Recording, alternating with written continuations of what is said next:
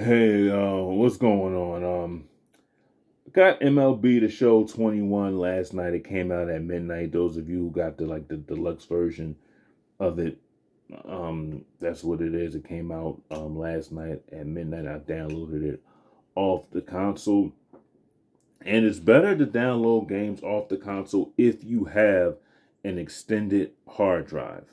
Now, if you don't have an extended hard drive, you know, you know, if you have a lot of games for the PS5 and the PS4, I recommend you getting an extended hard drive. Now, I got um four terabytes because that's something, you know, in case you have a lot of games, you have four four terabytes, and you can you know, store lots of games, like over a hundred games on the hard drive instead of using your um console hard drive or anything like that. So I recommend you getting that because if you don't have one, you have to delete games, put them back on there, and it's a whole lot of trouble. It's best to just transfer it onto the the extended hard drive to the um console. Now they got other hard drive. They got a two terabyte. I got the four terabyte. It's $130. So whatever you want to do.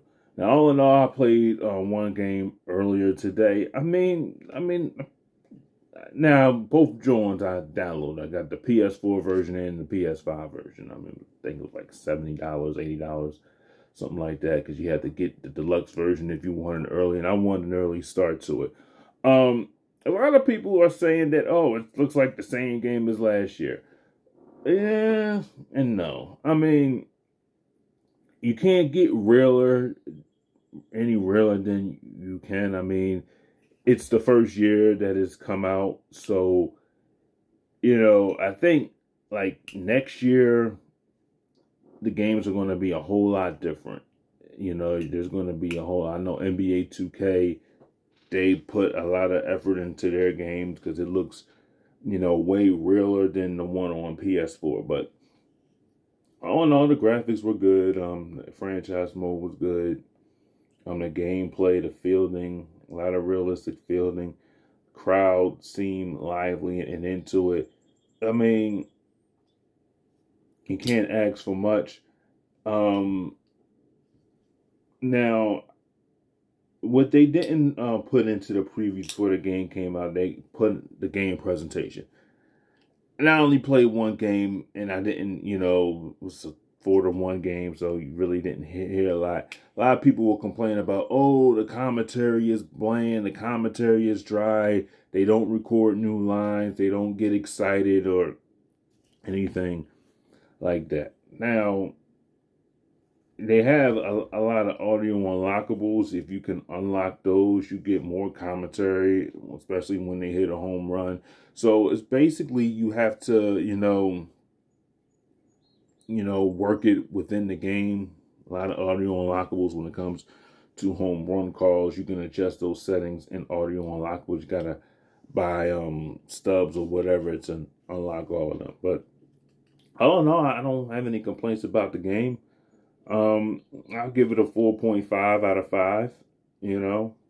Only thing I had an issue with is that you can't continue from MLB The Show 20. I think they did a mistake by doing that. I think at the end of the day, they should have continued. If you play the game from MLB The Show 20, bringing on the MLB The Show um, 21.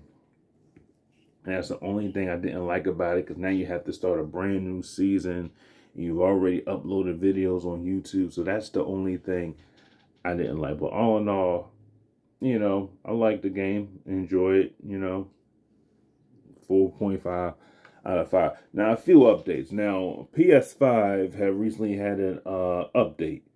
Now, if you would have got a um, hard drive, extended hard drive terabyte, you weren't able to transfer or download any PS5 games to your extended hard drive.